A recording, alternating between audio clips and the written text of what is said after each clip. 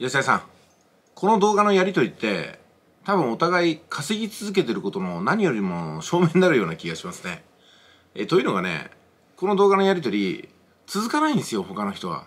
本当にね100は続いたらまあいい方。200は続いたらめったにね300は続いてるやつはもういないって感じですからね。何なんでしょうね。YouTube でビジネスしたいっていうのに300回続かないって何やってんのと思うじゃないですか。だって YouTube ってそれで生計立てようと思ったら下手したら10年20年っていうのはやるわけですからね。そういうことは想像しなかったのかなと思いますね。私も想像しませんでしたけどね。とりあえず目の前にカメラがあるから喋って目の前にネタがあるから喋ってなんかクレームがあるから喋ってで詐欺師扱いされたからね速稼塾は詐欺師っていう動画を自分で量産して検索には自分の動画しかかからないようにしてみたいなね。いやでもね私も思い出しますけどももう何年も前ですけどもね。吉田さんが会社離れた時にや私の耳に入ってきたね。なんか間違った方向行ってるらしいぞみたいなね。それ聞いてあなるほどなと。まあでもでも与えられたカードで勝負していくしかないもんなっていうふうに私はその時同時に思ったんですよ。で少ない再生数で本当に売り上げが立たないんだろうかとかね。少ない再生数じゃダメなんだろうか。というふうにも思いました。まあなぜなら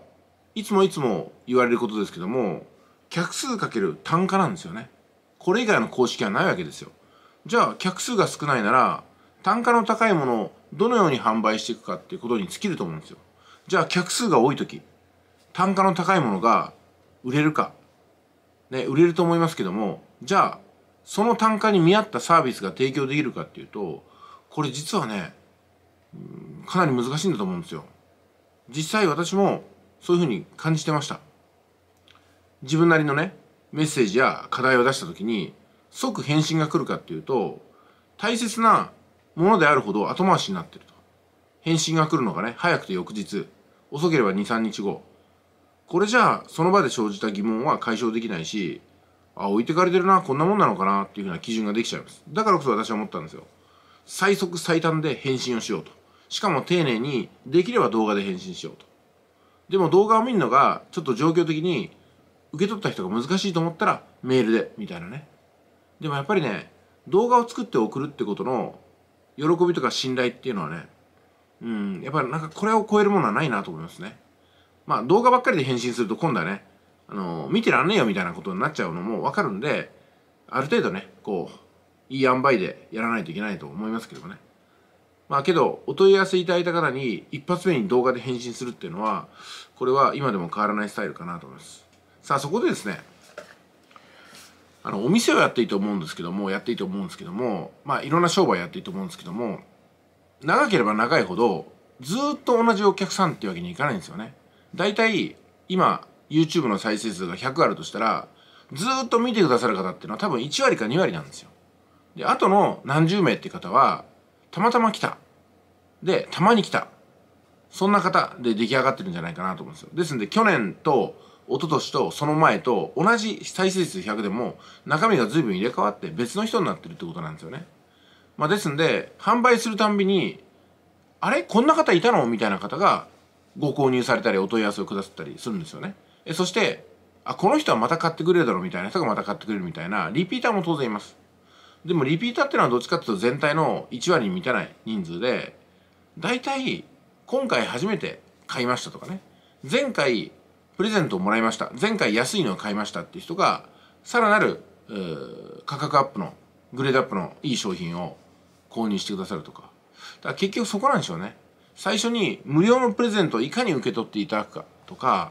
低価格の商品をどうやって手にしていただくかそれが呼び水になって腰の入った商品のセールスに生きてくるみたいなところなんですよね。そのためにやっぱり興味を持っていただけるような情報提供をしなくてはならないですしあと少なくともねいつも更新してるっていうこのスタイルはやっぱいるんだろうなと思うんですよ。考えてみたらそのヒルズ族の発信っていうのはね全然見なくなりましたね。あれほど熱心に当時あのブックマークして何回もリピートして再生してそれでコメントを書いてメッセージを送ったりしたんですけども今は見ないですね。ヒルズ族ね。うん。与沢翼さんも結構発信してる方ですけども、まあ、それでももうねあんまり私のね YouTube ログインに上がってこなくなりましたね。うん。今こうしてみるとね山本太郎さんの動画でしょ？岡田敏夫さんの動画でしょ？ガンダムとヤマト。あとは青山春彦さん。まあ政治系のがちょっと上がってくるかなと。エンタメ系がちょっと上がってくるなと。ビジネス系のはほとんど上がってこないですね。まあそんな感じになってます。でも当時はねビジネスのやつばっかりだったですよね。うん、やっぱり自分がどの世界に生きていくか生きているかっていうのは YouTube にログインした時のおすすめ動画でなんか分かるような気もしますね。はい、えー、じゃあねこれからも少ない再生数でがっつりやっていきましょうお互いにね、うん、私もだいぶ再生数は落ちましたね。まあでも落ちた分ねすごいね濃いんですよね今ね、うん、だからどちらかというと再生数減った方があなんか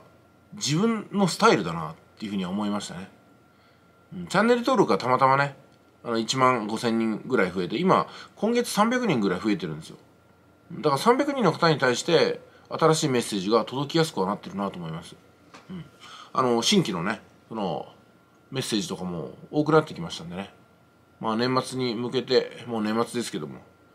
FX オリガルヒと速稼塾まあまあぼちぼちいけるんではないかなというふうなところですよね。まあ FX オリガルヒの方はまあもうちょっとこの辺で終わりかなって気がしますけども。うん。まあ行って30人だと思うんでね FX オリガルヒはもうサポートがそれ以上はもうできないと思いますんでね私の方もね。で速稼塾の方はまあなんていう人数が増えてもあんまり手間が変わらないんで全然 OK なんですけども。まあ、速稼塾の販売またねしましょう。去年しなかったんでね、うん、今年はしてもいいかなと思いますね、まあなんかその販売っていうのは今ライフプロデュースアカデミーの販売にも関わらせてもらったんですけどもいろいろ学ぶものがありますねやっぱり。学ぶものが。うん。い